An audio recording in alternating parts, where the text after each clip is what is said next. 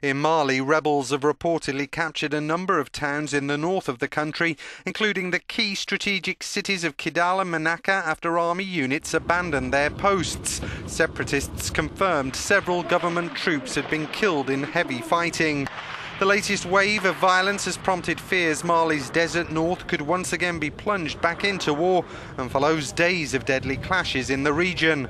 Fighting broke out on Saturday when Mali's Prime Minister, Moussa Mara, visited Kidal to show support for government forces based there. Civilian rule was re-established in Mali in 2013 after French forces intervened, but Islamist and separatist forces remain active.